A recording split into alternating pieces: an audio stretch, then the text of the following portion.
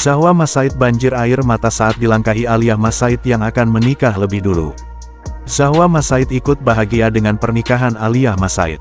Aliyah diketahui akan menikah dengan Tarik Halilintar pada Agustus tahun 2024 mendatang.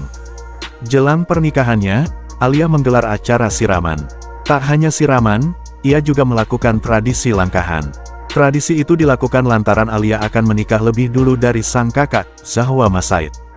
Tradisi langkahan itu diibaratkan sebagai prosesi meminta izin mendahului kakaknya untuk menggelar pernikahan. Benar saja, acara itu berlangsung haru hingga jadi sorotan netizen. Acara siraman dan langkahan Aliyah berlangsung sakral dan hikmat. Aliyah dan keluarga besarnya mengenakan kebaya dan busana warna pink.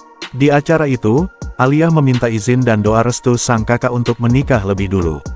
Zahwa melihat itu sampai banjir air mata saat Aliyah meminta izin nikah lebih dulu.